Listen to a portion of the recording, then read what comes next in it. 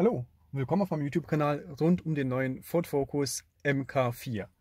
Heute geht es um den Bordcomputer bzw. das Testmenü, Service-Menü, was versteckt ist.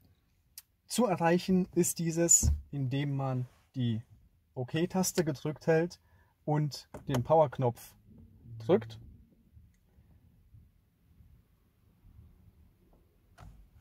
Nach circa drei Sekunden erscheint oben ein ET. Dann wissen wir, wir sind im richtigen Menü. Und zu erreichen ist dieses Service-Menü, nachdem oben rechts ET aufgetaucht ist, über den Menüknopf. Also hier kann ich jetzt draufdrücken und es erscheint das sogenannte Service-Menü, Engineering-Menü.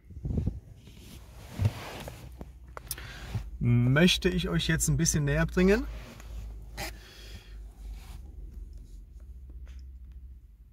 Jawohl. Es gibt ja einiges an Einstellungen. Entweder man scrollt so durch und wählt das, was man halt haben möchte. Oder aber man wählt das erste und scrollt dann entsprechend durch. Engineering Test Mode ist eigentlich ganz lustig. Wählen wir erstmal aus. Achso, man betätigt nicht, nicht mit OK das Ganze, sondern mit der Menütaste kann man es auswählen. Also Menütaste drücken, dann ähm, geht in den Engineering Mode und jetzt kann man mit links, äh, mit oben, unten durch die Menüs runter scrollen. Im ersten Moment, beziehungsweise im ersten Step, ähm, testet er entsprechend die Zeiger. Er macht also einen vollen Sweep, also einen vollen ja, Zug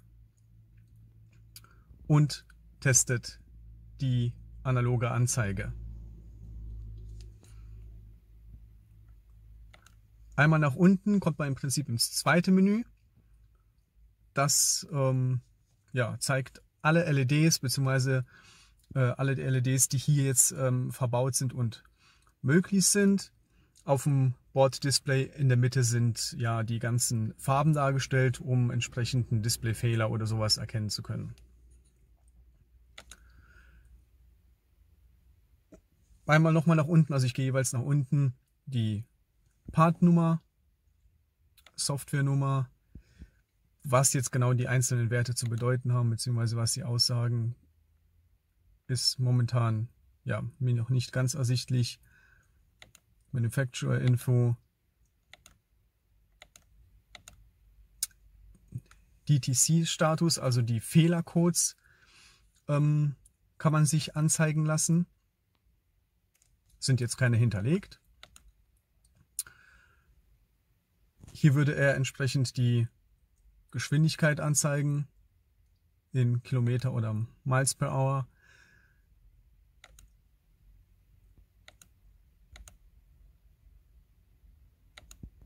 Engineering cool, Cooling Temperature, okay. Engine Cool, okay, also Temperatur des Motors, Trip A, Trip B,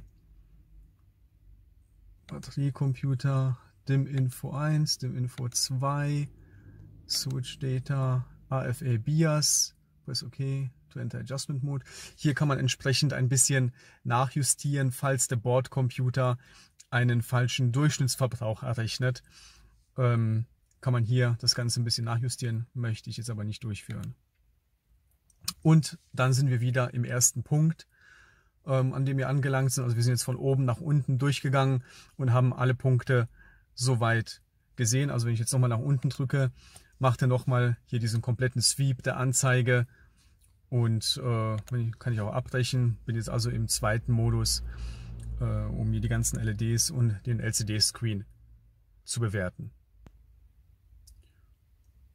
Ja, das war es eigentlich zum Engineering Mode oder Service Mode des Bordcomputers.